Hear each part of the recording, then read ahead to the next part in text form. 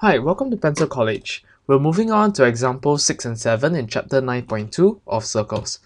So in this example, we are asked to find, to write down rather, the coordinates of the center and the radius of the following circle. So we will first explore using method 1, which of which we will be making use of formula number 2, as you can see on the top left hand corner of the screen.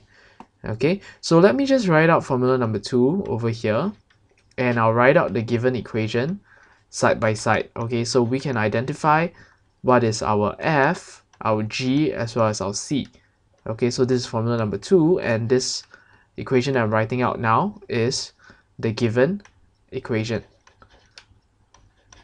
okay? So over here we can identify 2g to be negative 2 so g is just negative 1 and 2f is negative 6 so f is just negative 3 and finally c is 1 and don't forget c is given as g square plus f square minus r square as you can see on the top of the screen. So this is 1 is equals to g square plus f square minus r square. So simply speaking r square is just g square plus f square minus 1 and substituting in our values for g and f okay I will then be able to solve for r. Okay so maybe I solve for I'll solve for my r square first. So r square is just 3 square and therefore r is just 3 okay so to find the center of the circle so go back to formula number 2 the center is given as negative g and negative f. So this is just 1 comma 3 okay and r which is the radius okay the radius is just 3 okay so that's method number one using the formula number two as you can see. Okay so let's move on to explore method number two. Okay and method number two involves completing the square.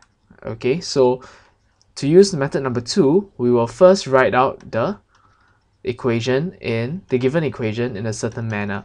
So you see that I'm rearranging some of the terms okay the, the one that you see over here, I'm shifting it over to the right hand side of the equation. Okay, so let's perform completing the square for x squared minus 2x first. So x squared minus 2x can be written in this form. So x squared minus 2x plus 2 over 2 square minus 2 over 2 square.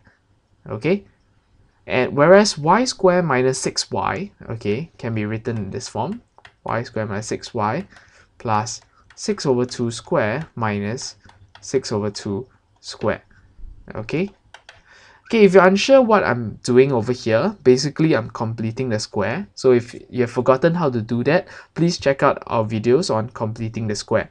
Okay? So for this first three terms that you see over here it is in the form a square minus 2ab plus b square. So I can easily write this as x minus 1 square okay? And negative 2 over 2 so whole thing square is just negative 1 okay let's move on to evaluate for the terms for y. So the first three terms for y can be written in this form. Okay. Y minus 3 square. Okay and this term over here is just minus 3 square. Okay and that gives me negative 1 so I will leave I will leave this two terms on the left hand side of the equation whereas the negative 1 and the negative 3 square I will port it over to the right hand side of the equation. So I'll get this. Okay and so and you know just simplifying this equation I will get to a form that we are pretty familiar with. So if you stare at this this final equation that I've gotten here okay. You realize that this is in the form of the first equation okay where the center is AB so let us identify our A which is 1 B is 3 so this is my A this is my B and my R is 3 okay and therefore the center of the circle is given as AB which is just 1 comma 3 and the radius is given as r which is just 3 Okay, so that's all for example number 6. Okay, moving on, let's look at example number 7. Okay, so we will evaluate the radius and the circle, uh, sorry, and the center of the following circle by using formula number 2. Okay, as you can see on the top of the screen. So first and foremost, let me write out formula number 2 side by side so you can see very clearly, okay, what, what is that that I'm looking for. Okay, so this goes like this. And at this point in time, let us observe that negative 16 is equivalent to 2g. Okay, so therefore g is just negative 8. And also, negative 12 is equivalent to 2f, and therefore f is just negative 6. Okay, Okay, finally, C is 75, and 75, okay, and rather C is given by the formula to be g square plus f square minus r, r, r square. Okay, so you can see at the top of the screen, c is just g square plus f square minus r square.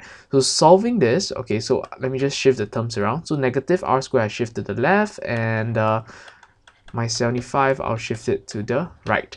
So at this point in time, let me substitute in the values for g and f. So this is just okay and working this out I'll have 25 which is just 5 squared. Okay so if r squared is 5 squared then r has got to be 5 okay so at this point in time let me just write out the center. The center of circle is given as negative g negative f okay which is just 8 comma 6 okay because g is negative 8 and f is negative 6 okay how about the radius the radius is given as r, which is just 5. Well done, guys. We have just came, come to the end of this chapter on circles. So I hope you enjoyed the videos.